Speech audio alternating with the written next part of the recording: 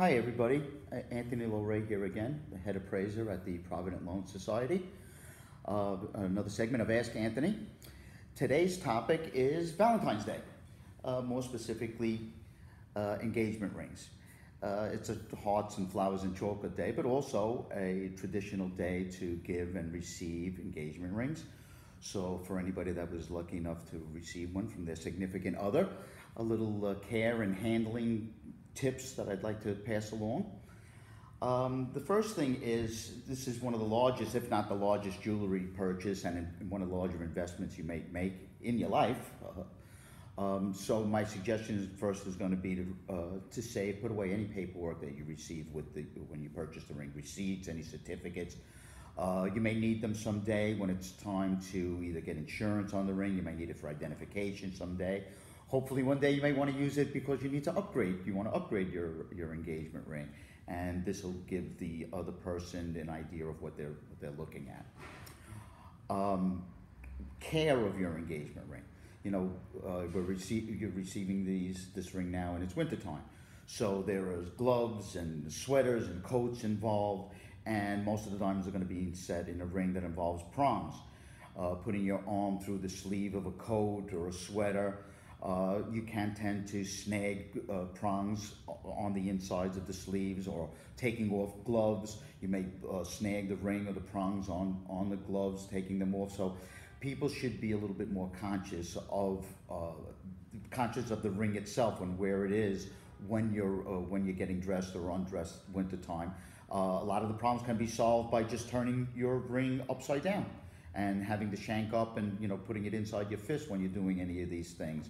Uh, even even wearing with your gloves, you can wear it uh, upside down if you have to inside the gloves, and that saves a lot of banging around also. Uh, regardless, though, your ring, you should take it back to where you purchased it or to your local jeweler, whoever's convenient to you, to have your ring inspected occasionally uh, for the for the prongs. Make sure that nothing's loose, nothing got pulled up, nothing got broken. Uh, they'll also clean it for you at the same time, and they'll do a better job at it than you're going to do at home. Of course, uh, as I've recommended in previous blogs, a little ammonia and water to swish your ring around in is going to work better than any kind of soap or toothpaste, which is going to leave a film. Um, the other thing is, and the, the biggest complaint that I've heard over the years from somebody wearing their engagement ring is that they tend to spin around. They're a little top, a top heavy item, and you go to show somebody your engagement ring, and it's like this, and you have to, to spin it around. So uh, people are always coming back and complaining that uh, the the ring is doing that; it's spinning. Well, you have to understand that uh, you know the, anatomically your knuckle is bigger than the back of the finger where the ring sits, and the size of your finger is taken at the knuckle.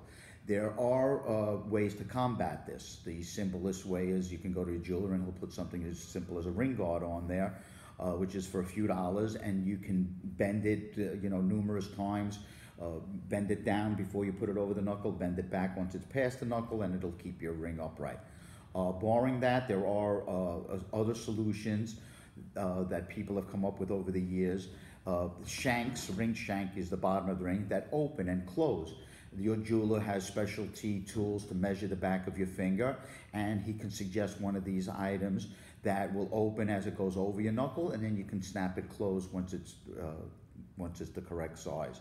Uh, there's a website I'll, I'll uh, recommend to you. There's Hoover and Strong. They have their uh, technical bulletins. Uh, you can uh, search one from 2005, which goes over all the various methods that people have used over the years, and you can be a little educated before you go back into your jeweler. And, uh, and he, but he'll make the best suggestions to you. Anyway, if you have any comments or questions, please post them at the bottom of the page in the comment comment section. Um, we're here to help with Provident Loan Society.